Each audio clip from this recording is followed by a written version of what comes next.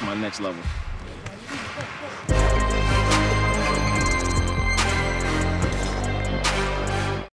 Sponzorem pořadu je Endzone.cz, e-shop pro fanoušky a hráče amerického fotbalu.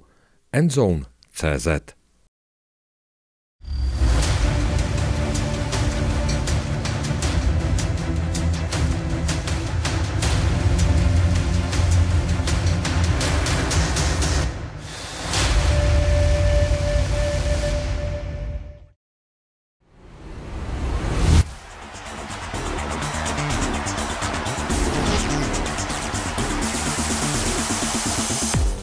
Češi na tři, Češi na tři.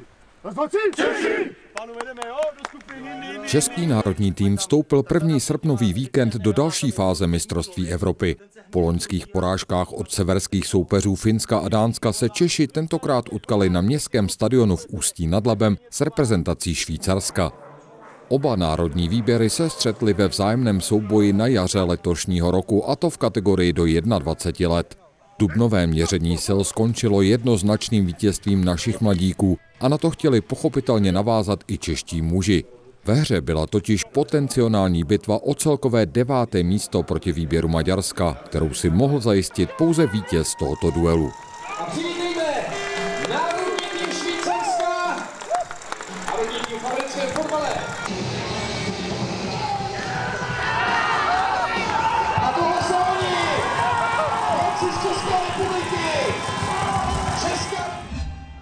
Na míči začínali Češi, ale dále než na polovinu hřiště se nedostali.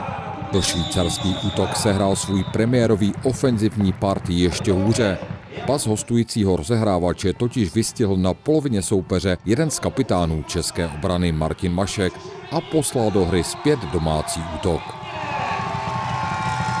číslo 55, Martin Vašek. Ukořistnil ten balón při té skvělé.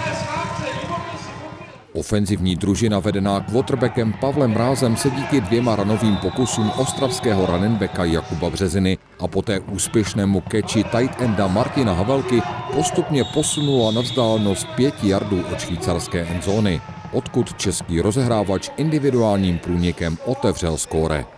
Teď eh, split back formace s fullbackem a Jakubem Březinou na pozici running backa. Právě Březina volně, nakonec je to Pavel Mráz a teď důležitý na Pavel Mráz skóruje a český tým jde do vedení 6-0.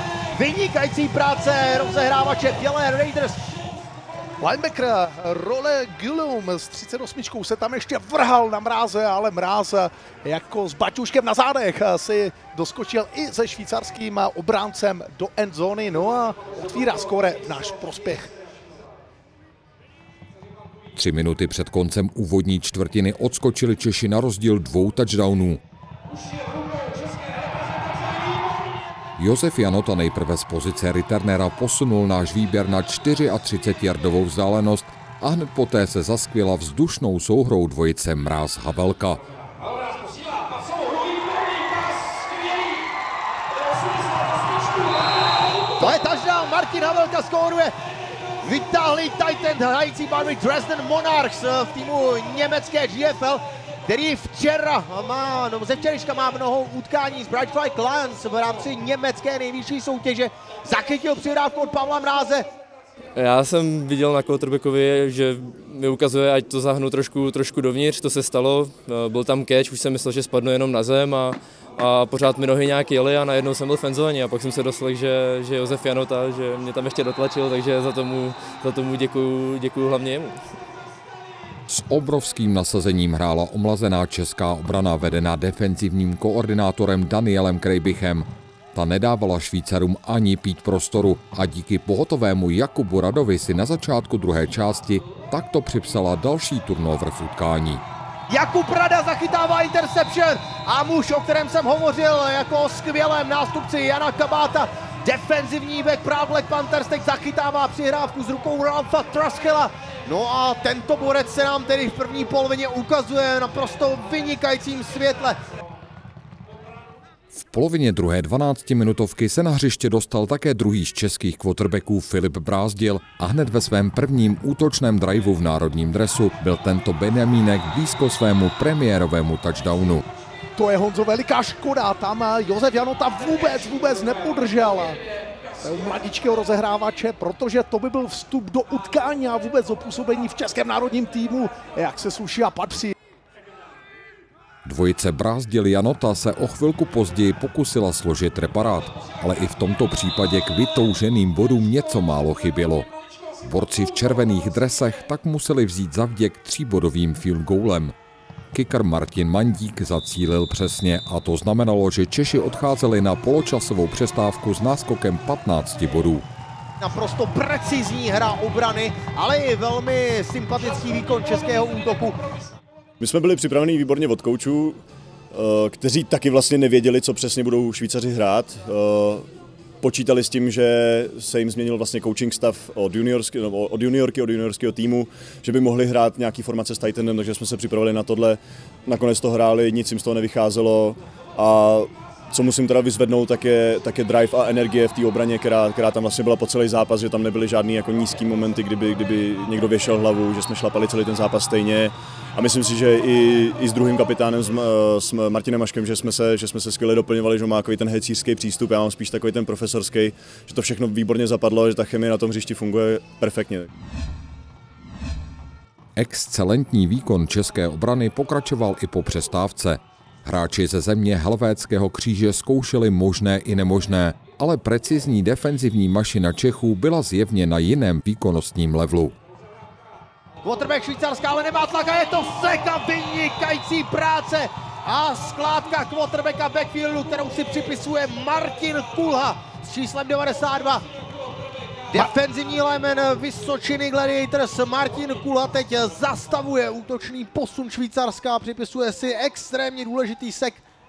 Bohužel pro naše barvy ofenzíva nedokázala navázat na solidní výkon z úvodního poločasu a ve zbytku zápasu také český útok nenašel účinný recept na defenzívu Švýcarska.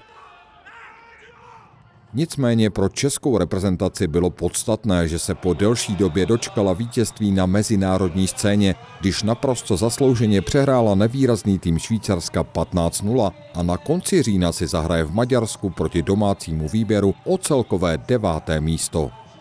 Je to po dlouhé době vlastně výhra. Když to řeknu, tak je to moje první výhra v repre, co, co vlastně hraju, takže o to je to ještě sladší, že, že hraju doma.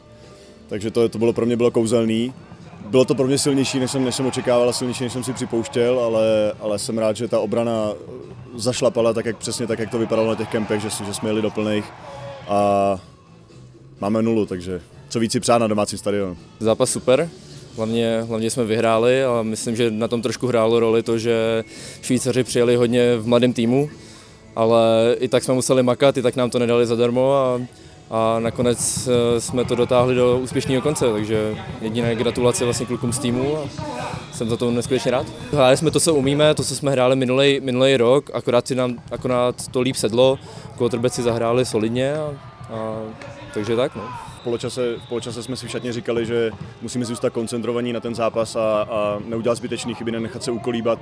Vlastně co, co se nám stalo vlastně tady minulý rok s Finskem, kdy jsme ten poločas odehráli výborný a pak, pak eh, ta jedna čtvrtka nám ulítla a je z toho výsledek, jaký, nebo byl z toho výsledek, jaký byl. Takže jsme si říkali, že tady tu chybu, chybu nezopakujeme a že budeme hrát dál důsledně, a co mě extra těší, že i kluci, který byli jako náhradníci, takže zahráli všichni perfektně. Měli tam skládky pro mínus, konkrétně za d měli tam skládky pro mínus, byl tam forsnutý fumble. Já můžu být jenom rád jako kapitán, takže za mě perfektní. No. Je super otevřít tu repre sezónu výhrou, protože minulý rok nám to nevyšlo ani jednou, ani doma, ani venku ale určitě to chce zase pracovat, jako bude další kemp, bude potřeba tam, aby tam byla plná účast a, a nemyslet si, že Maďaři nám to dají jako v vozovkách tak lehce jako, jako Švýcaři.